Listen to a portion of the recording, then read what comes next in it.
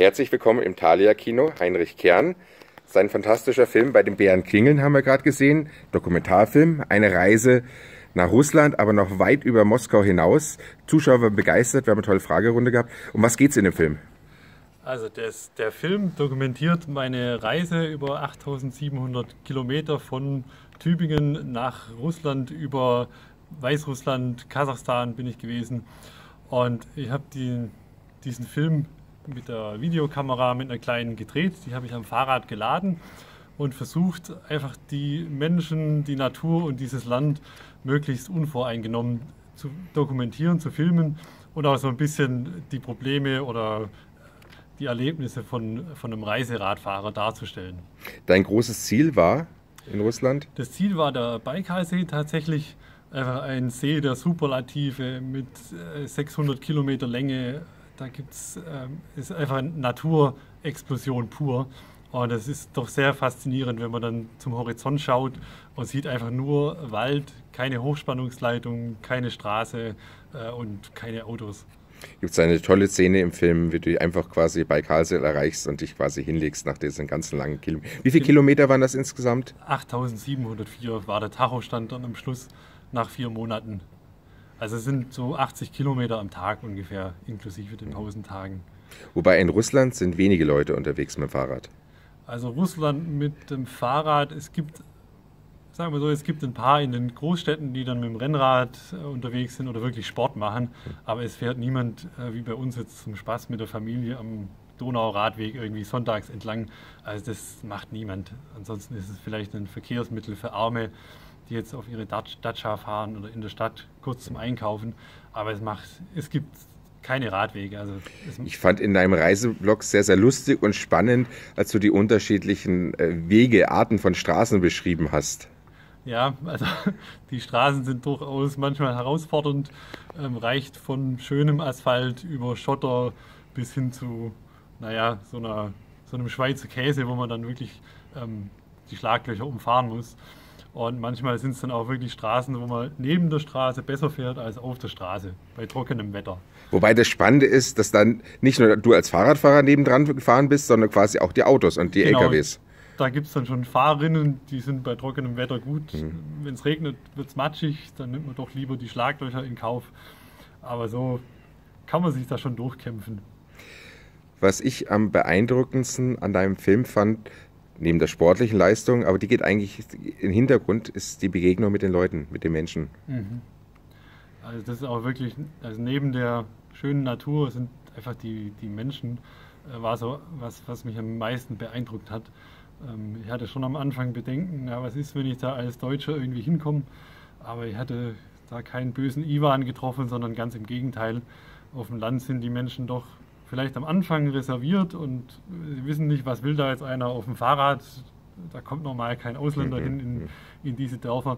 Und wenn sie einen dann aber mal ins Herz geschlossen haben ähm, oder sehen, vor mir müssen sie keine Angst haben, dann sind sie sehr, sehr offen und gastfreundlich und herzlich. Und das hat mich schon sehr, sehr beeindruckt. Du bist häufig zum Essen eingeladen worden, zu Übernachtungen, die haben dir gezeigt, die haben dir geholfen bei verschiedenen Sachen. Genau, und auch wenn sie selbst in sehr einfachen Verhältnissen ähm, leben. Also wie ist da der Durchschnittslohn dann 300 Euro im Monat und äh, die Milch kostet aber genau das gleiche wie bei uns oder ist sogar noch teurer äh, im Laden oder die, die abgepackten Industrielebensmittel. Mhm. Ähm, dann ist es schon sehr beeindruckend, wie freundlich die Menschen sind, ja. Auch die Presse vor Ort hat über dich berichtet. Du bist im Frühstücksfernsehen, bist du erschienen. Also du warst ein richtiger kleiner medialer Star auf deiner Reise. Ja, also das war in ähm, Richtung Sibirien, hat wirklich das erste russische Staatsfernsehen, hat einen kleinen Beitrag gebracht, das hat mich sehr gefreut. Ähm, da haben mich dann sogar ein paar Leute dann am nächsten Tag auf der Straße irgendwie angesprochen, ob ich das denn sei. Ähm, das war schon sehr witzig, ja. Bekannte, die du getroffen hast in Russland, hat gesagt, dass, dass sie sogar von Freunden angesprochen worden ist auf den Artikel ähm, und auf den Fernsehbeitrag. Im Fernsehen, ja. ja. Du hast, äh, mit wie viel Kilo bist du losgegangen? Mit 50 Kilo war dein Rad. Genau, also 50 Kilo, da ist dann aber ja. wirklich alles dabei. Mhm. Also die Lebensmittel plus 5, mhm. 6 Liter Wasser. Mhm. Ähm, das Fahrrad ist doch auch, hat schon ein hohes Eigengewicht durch diesen Stahlrahmen. Mhm. Ähm, das ist nicht ganz gewichtsoptimiert, aber dafür halt stabil gewesen. Das war eher das Kriterium. Du hast fast 40 Flicken für Fahrradpannen, Reifenpannen dabei gehabt. Frage, mhm. wie viel hast du einsetzen müssen? Also ich habe keinen einzigen Platten tatsächlich gehabt. ähm, das war zum einen bestimmt Glück, zum anderen liegt relativ wenig Müll auf der Straße rum. Oder man, also ich habe, sobald ich was gesehen habe, diese aufgeplatzte Reifen oder irgendwas, dann geschaut, dass ich da weiträumig äh, rumfahre.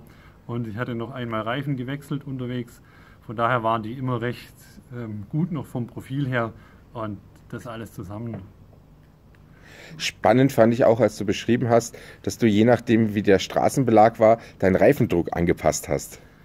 Ja, aber das geht tatsächlich sehr, sehr gut, weil also man kann sie hart aufpumpen aus Asphalt, rollt dann relativ gut und ich hatte keine Federgabel, mhm. sondern aber kompensiert auf, auf Schotter einfach mit, mit weniger Luft. Mhm. Das dämpft doch ganz gut. Ja. Auf dem Weg nach Russland bist du durch Polen gefahren. Da hast du wie ich finde, einen sehr, sehr guten Tipp für Reisende, die mit dem Fahrrad unterwegs sind bezüglich Hunde. Ja. Das ist ja, ich glaube, das war das, das, gefährlichste Tier. Also mit Bären bist du, glaube ich, nicht begegnet, gell? Nein, also an Tieren sind, sage ich mal, die, ja gut, gefährlich. Die Moskitos, die sind sehr lästig.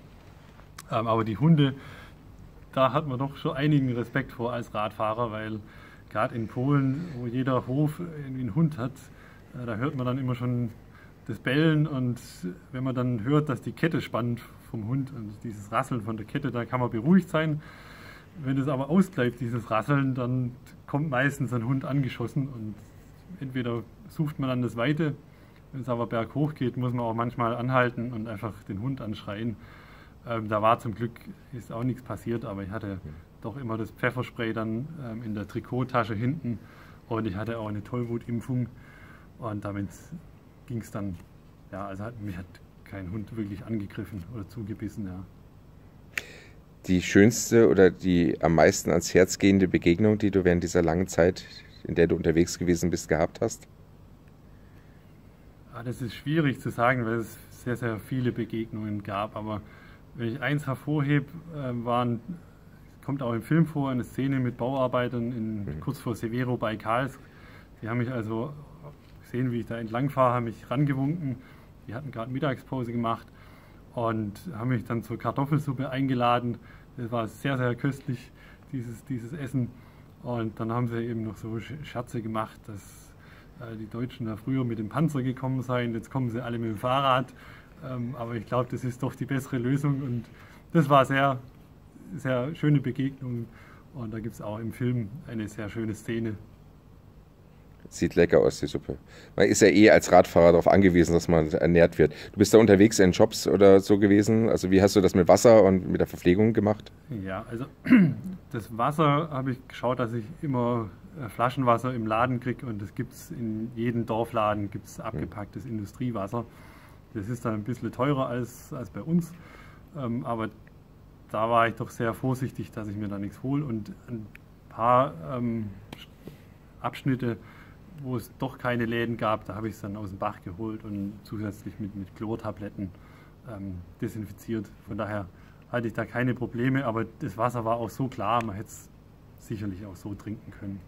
Spannend fand ich auch, wie du deinen Weg gefunden hast mit den Straßen, weil äh, teilweise mit dem russischen Google, aber teilweise hast du auf Satellitenbilder zurückgreifen müssen oder können und manchmal hat es auch dich völlig in die Irre geleitet. Ich glaube, zwei Tage Umweg, weil die Brücke nicht, es einfach nicht gab. Ja, da ist, also manchmal ist das Kartenmaterial auch, also OpenStreetMap ist doch schon recht gut, äh, muss man sagen. Google Maps ist ganz schlecht in Russland. Es gibt noch Yandex Maps, die sind aber nur online verfügbar. Und ein paar Mal hatte ich dann wirklich auf Satellitenbilder zurückgegriffen, ähm, wo ich dann einfach geschaut habe, man sieht es ja, ob dieser Weg dann irgendwo im Nichts endet oder ob diese braune Spur dann doch komplett durch den Wald geht und dann bei der nächsten Stadt wieder ankommt. Da kann man so ein bisschen abschätzen, ob man da durchkommt. Wir haben die letzten Monate, Jahre viele Reisefilme und viele Gäste dazu gehabt. Den Felix Starkhammer mit Pedal the World, mit der Momo jetzt Expedition Happiness. Wir haben, äh, egal was kommt, den tollen Reisefilm mit Motorrad gehabt. Wir haben äh, Weit, haben wir häufig gespielt die letzten Jahre. Wir haben den Patrick und die, äh, mein Gott, jetzt habe ich den Namen vergessen, Sie mögen mir verzeihen, haben wir da gehabt. Äh, das Bedürfnis von Leuten, wie erklärst du dir das und was würdest du den Leuten, die das eh nichts planen, einfach sagen? Also ich denke schon, dass im Moment der die Bedarf Quen. irgendwie mhm. da ist, ja, dass die Leute einfach aus dem Alltag raus wollen, vielleicht hier so gesättigt sind mit aller Technik und ich meine, wir haben ja alles, was wir brauchen, uns fehlt ja nichts. Und dass man dann doch wieder ein bisschen an die Basis zurück möchte oder Natur sehen, das ist für mich also sehr nachvollziehbar. Und ich kann also Russland nur empfehlen, da, da hinzugehen und sich dieses Land selber anzuschauen. Klar, es bedarf einiger Vorbereitungen und das Schwierigste ist, glaube ich, dass man dann einfach den Entschluss fasst und es dann da wirklich losfährt. Und unterwegs gibt es immer irgendeine Möglichkeit, wie man weiterkommt. Und für jedes Problem gibt es da eine Lösung. Also die Erfahrung habe ich schon gemacht, dass es, ähm, ja, dass es doch immer, immer weitergeht, auch wenn man sich am Anfang schwieriger vorgestellt hat. Wir danken dir für deinen Besuch hier im Thalia Augsburg. In den nächsten Wochen und Monaten gibt es noch weitere Vorführungen, überwiegend in Baden-Württemberg. Wir werden in Ingolstadt wohl im Februar, März hoffentlich eine zusätzliche Vorstellung machen mit deinem Film und danke dich ganz herzlich und es war eine ganz, ganz große Ehre, dich hier zu haben. Herzlichen Dank, Heinrich. Ich bedanke Kern. mich ebenfalls für die Einladung. Vielen Dank.